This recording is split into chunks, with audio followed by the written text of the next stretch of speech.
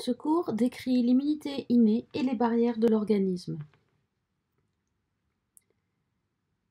Des mécanismes permanents et inductibles ont pour effet de limiter la colonisation des surfaces et l'invasion tissulaire par les micro-organismes, les parasites et les fungi, de détruire les microbes les plus sensibles, par exemple grâce à des enzymes destructrices de la paroi gram+, de rejeter et de détruire les corps étrangers comme les poussières, les échardes, etc. Il existe un grand nombre de barrières permanentes qui sont propres à chaque tissu. D'abord, l'organisme présente un renouvellement constant de la peau et des muqueuses, qui donc les rend moins sensibles aux agressions microbiennes de surface. De nombreux flux aériens et liquides, ainsi que la rythmicité de l'activité, contribuent à éliminer les microbes qui pourraient adhérer aux surfaces. Les muqueuses et la peau sécrètent de nombreuses substances antimicrobiennes, comme le mucus, la salive, les larmes, etc. Parmi ces substances, on peut citer le lysozyme, les radicaux libres, les peptides antimicrobiens, etc. Les tissus, de façon générale, présentent donc des caractéristiques défavorables à la multiplication microbienne, et on a aussi des mécanismes comme le contrôle du pH, la disponibilité du fer, etc. Par ailleurs, il existe dans les tissus normaux une activité de base de cellules phagocytaires, y compris à l'extérieur comme des macrophages présents dans les alvéoles pulmonaires. Enfin, la flore commensale normale contribue aussi à l'effet barrière. Il est important de réaliser que l'altération de ces barrières est certainement un facteur de susceptibilité aux infections. Par exemple, une mauvaise qualité de l'air, contenant poussière ou ammoniac, va altérer l'épithélium et donc la capacité de barrière.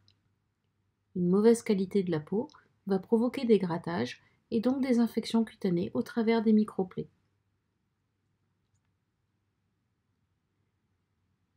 La flore commensale est un ensemble complexe de bactéries et protozoaires qui colonisent les muqueuses dès la naissance et la peau. Elle joue un rôle majeur dans la digestion et dans les, équilibres des épithéliums. Elle joue aussi un rôle important dans le contrôle des infections, puisqu'il existe des phénomènes de compétition entre micro-organismes. Si la flore commensale est déjà bien installée au niveau d'un épithélium, ce sera plus difficile pour un micro-organisme pathogène de la franchir. De plus, les micro-organismes commensaux présentent des antigènes qui préparent le système immunitaire à mieux réagir s'ils sont à nouveau présentés dans le cadre d'une infection par un germe apparenté. Donc, l'altération de la flore commensale contribue aussi à augmenter la sensibilité aux infections.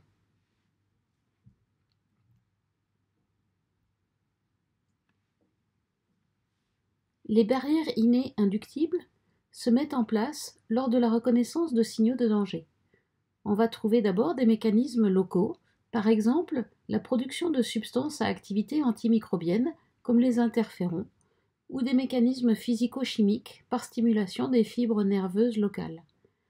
C'est ainsi que s'explique la toux, le prurite, l'éternuement, les spasmes des organes creux, les pleurs, l'hypersalivation, les vomissements ou la diarrhée. À partir des tissus atteints, seront ainsi activés des mécanismes locaux régionaux, par exemple l'inflammation et l'activation du système du complément que nous traiterons dans un module suivant. Enfin, les tissus lésés produisent des cytokines qui sont diffusées dans tout l'organisme et qui ont donc un effet général. C'est le cas de la fièvre. De nombreuses protéines, comme les protéines de la phase aiguë de l'inflammation, sont synthétisées par le foie de façon modulée par les cytokines produites par les tissus atteints. Donc vous voyez que de nombreux symptômes lors des infections sont liés aux microbes, bien sûr, mais aussi à l'activation de ces barrières inductibles. Si ces barrières sont inefficaces ou si les réactions sont excessives, eh on aura des symptômes euh, importants et donc une maladie.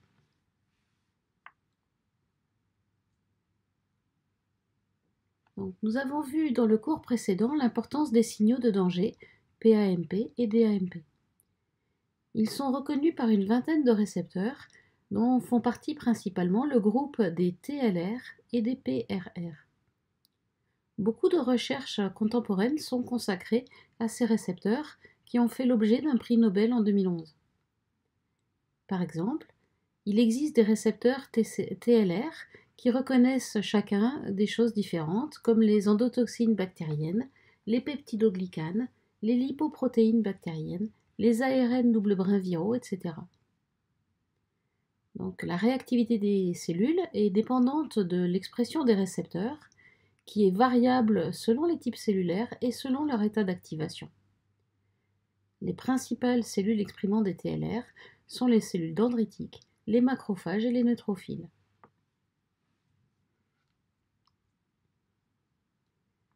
Nous ne détaillerons pas beaucoup l'inflammation, mais voici quand même quelques éléments pour faire le lien avec la physiopathologie.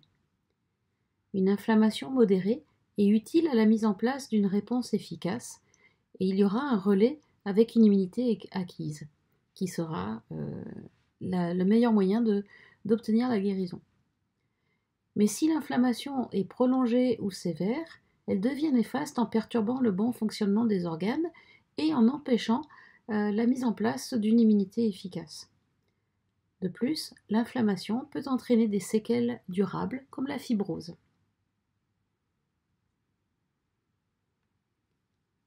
Les facteurs activateurs de l'inflammation sont dits phlogogènes. Ils vont activer les défenses inductibles dans les cellules tissulaires. Ils vont activer aussi les réactions neurotissulaires. Ils feront produire des produits de l'inflammation et des, des cytokines par les cellules immunocompétentes. On parlera de cytokines pro-inflammatoires qui sont capables d'activer les cellules, de modifier la perméabilité vasculaire et donc euh, provoquent euh, ce qu'on appelle la phase vasculaire et la phase tissulaire euh, de la réaction inflammatoire. Donc, les troubles locaux du fait de l'irrigation tissulaire et de la pénétration dans le tissu de nouvelles cellules immunocompétentes qui y seront attirées. On aura aussi des troubles généraux parce que ces cytokines pro-inflammatoires euh, peuvent modifier le métabolisme général et provoquer la fièvre.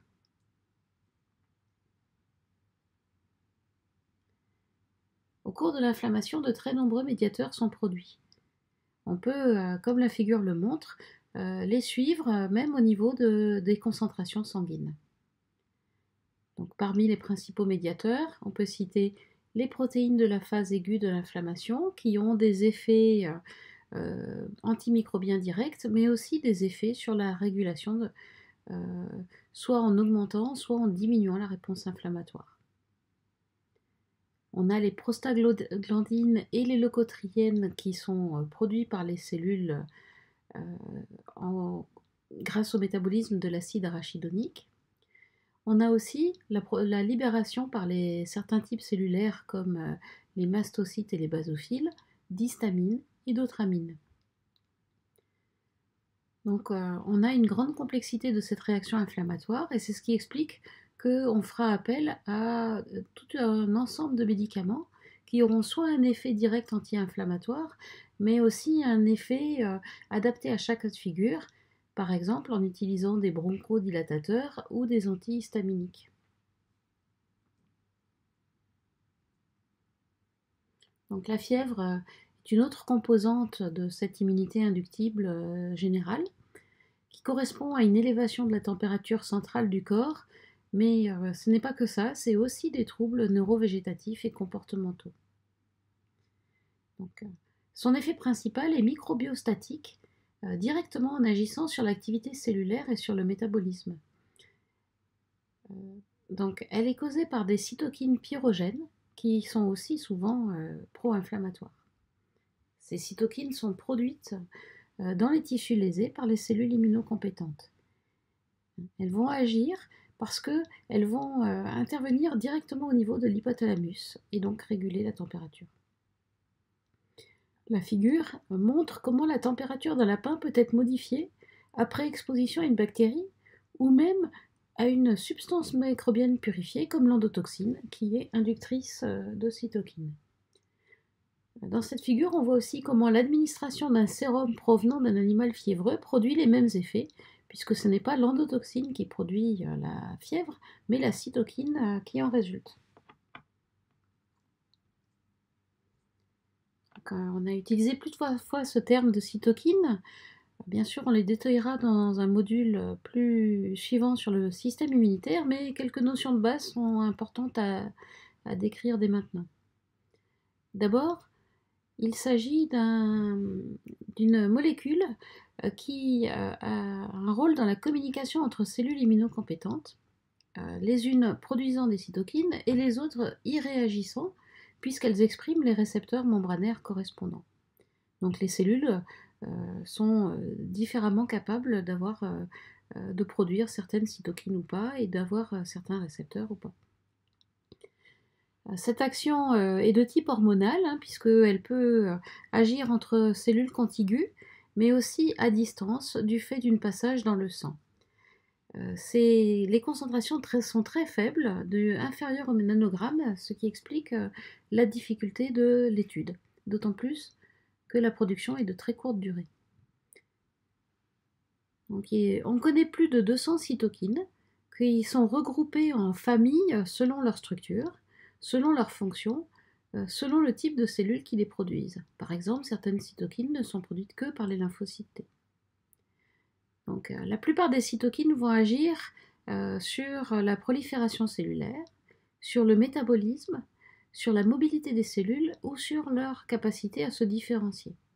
Quelques-unes seulement ont des effets cytotoxiques directs.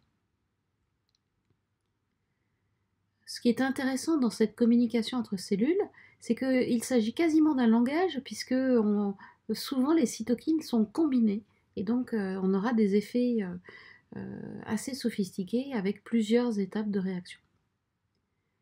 La production de la cytokine n'est pas permanente, elle est induite par différents états de la cellule, elle sera régulée en fonction de son activité et de son état de différenciation. Il en est de même pour l'expression des récepteurs. Donc certaines cytokines interviennent euh, dès la réponse immune innée inductible et d'autres n'interviendront que dans l'immunité euh, spécifique puisqu'elles dépendent des lymphocytes Enfin, euh, les cytokines n'agissent pas que sur les cellules immunocompétentes, elles peuvent agir sur d'autres tissus, comme on l'a vu avec la fièvre. Hein. Et réciproquement, les cellules immunocompétentes sont aussi capables d'interagir avec d'autres systèmes, et en particulier Beaucoup d'entre elles expriment des récepteurs pour des hormones ou pour des neuromédiateurs, ce qui va expliquer comment euh, euh, l'immunité peut être influencée euh, par l'état psychique ou par le sexe, etc.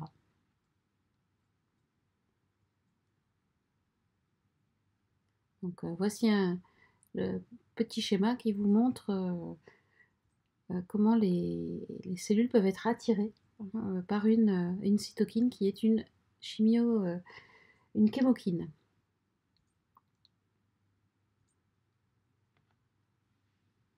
Autre mécanisme très important dans l'immunité, c'est la phagocytose. Il s'agit d'un système capable de détruire les bactéries, voire même des petites cellules, grâce à un ensemble de cellules qui sont capables d'ingérer et de digérer des éléments euh, qu'ils ingèrent dans des vacuoles. Donc on regroupe dans cette catégorie euh, ce qu'on appelle des phagocytes. Et en fait, il y a deux grands types cellulaires. D'une part, les neutrophiles, euh, qui sont surtout capables de phagocytose bactérienne. Et d'autre part, les cellules du groupe des monocytes et macrophages, qui ont des capacités plus étendues.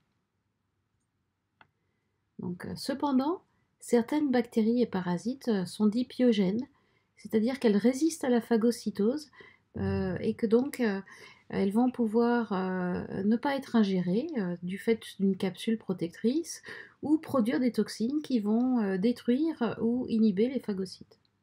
Et dans ce cas-là, on aura la production de pus, qui est une accumulation de débris cellulaires.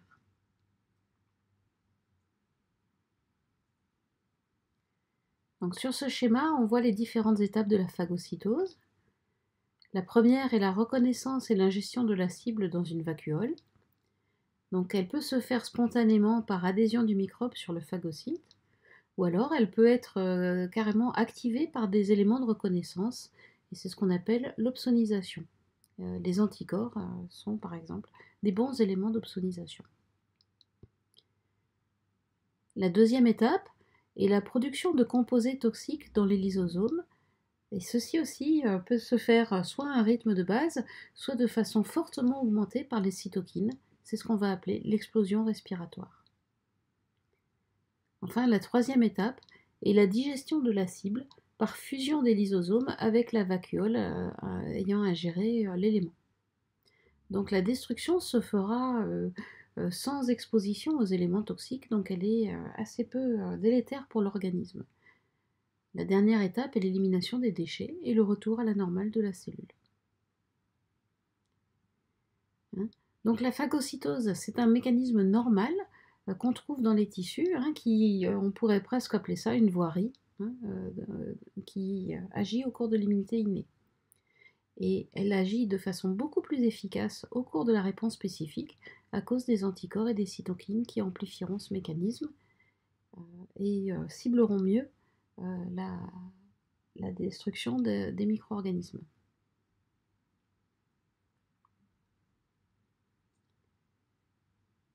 Parmi ces mécanismes d'immunité inductible, j'ai aussi évoqué ce qu'on appelle les interférons, hein, dont le rôle principal est dans la protection antivirale. Attention néanmoins que euh, sous le terme d'interféron, on regroupe euh, un ensemble hétérogène de protéines euh, qui sont impliquées dans le contrôle de l'activité cellulaire. Hein, elles agissent pour beaucoup plus comme des cytokines que comme des éléments antiviraux. Face à certains éléments de danger, et en particulier ceux d'origine virale, les cellules tissulaires vont produire des interférons et cela rendra les cellules contiguës moins sensibles en modifiant leur métabolisme. Donc, on a un effet de ralentissement de la propagation du virus. Et ça, c'est très intéressant puisque ça agit en première intention et avant que d'autres mécanismes plus efficaces euh, prennent le relais. Ce groupe des interférons regroupe en fait plusieurs euh, euh, catégories de type 1, qui notamment l'interféron alpha et l'interféron bêta, qui sont produits par les cellules dans les tissus quasiment toutes les cellules euh, sont capables d'y réagir, avec en particulier cet effet antiviral. En revanche, les interférons de type 2, surtout l'interféron gamma, euh, sont produits par les lymphocytes en réponse à l'antigène, donc ils n'interviendront que plus tard au cours de l'immunité acquise.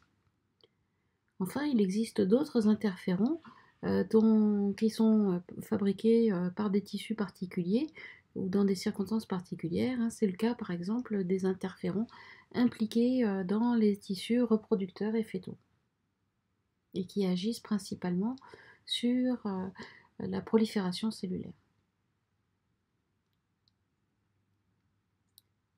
Donc euh, au bilan, on a plusieurs types d'activités cellulaires qui sont mobilisées durant une infection. Donc les cellules tissulaires, réagiront rapidement aux signaux de danger et produiront les premières défenses, par exemple l'interféron. Les cellules myéloïdes des tissus réagiront aussi par la phagocytose et la production de cytokines. D'autres cellules, comme les lymphocytes NK, réagiront aux cellules anormales. Nous détaillerons ces cellules dans, le module suivant. À partir de tout ça, donc, on a une inflammation qui résulte de la première vague, qui provoquera l'activation et la mobilité d'autres cellules immunocompétentes. Enfin, euh, les lymphocytes dans les organes lymphoïdes drainants interviendront durant euh, l'immunité acquise et réguleront euh, l'ensemble des autres cellules.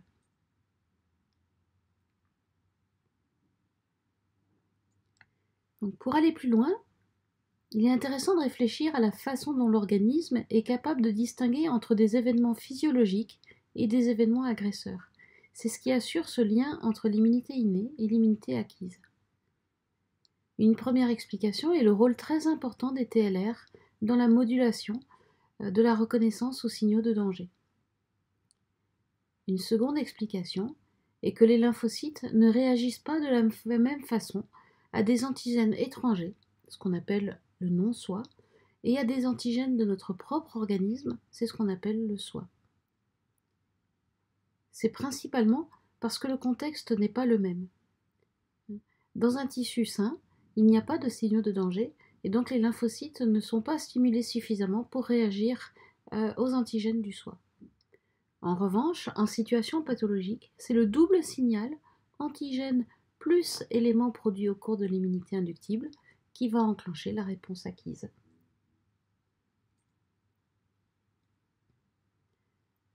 Donc, euh, au bilan de ce module, on peut retenir que le système immunitaire est composé de très nombreuses défenses complémentaires et dynamiques, que ces défenses permanentes ou inductibles agissent contre les infections, mais qu'elles peuvent aussi être impliquées dans les symptômes, et que les facteurs de virulence des micro-organismes déterminent leurs interactions avec l'hôte, que ce soit commensal, opportuniste ou pathogène. Ainsi, l'immunité innée permanente euh, suffit à contrôler la flore commensale à tel point que l'immunité acquise n'est pas nécessaire. L'immunité innée est en général insuffisante à contrôler un opportuniste et il faudra euh, dans ce cas-là, que l'immunité acquise se mette en place pour procurer euh, une protection, mais aussi une mémoire à long terme. C'est pourquoi un individu immunodéprimé est susceptible de maladies opportunistes. Enfin, les agents pathogènes sont capables de provoquer une maladie contre laquelle l'immunité acquise ne sera pas d'emblée efficace. Il faudra quelques jours pour qu'elle se mette en place et pour qu'elle permette la guérison, puis la protection ultérieure grâce à la mémoire. Euh, évidemment, lorsque le pouvoir pathogène est très important, hein, que les, micro-organismes ont une forte virulence, les maladies seront plus graves puisque le système immunitaire pourra alors là être dépassé et que ces agents présentent des parades pour résister aux défenses de l'immunité. Et dans ce cas-là, on peut avoir des phénomènes où l'immunité n'est que partielle, ce qui n'entraînera pas l'élimination complète de l'agent, mais pourra occasionner ce qu'on appelle un portage sain. Donc euh, toute cette euh, analyse permet de mieux comprendre le rôle du vétérinaire clinicien, hein, qui est là à la fois pour prévenir les problèmes, grâce à ses conseils sur, qui permettent d'assurer une bonne intégrité des barrières, pour évaluer au cas par cas comment se déroule la physiopathologie et si la réponse immune est adaptée ou pas, et enfin pour adapter un traitement, proposer un traitement adapté. Donc voici pour euh, euh, ce cours.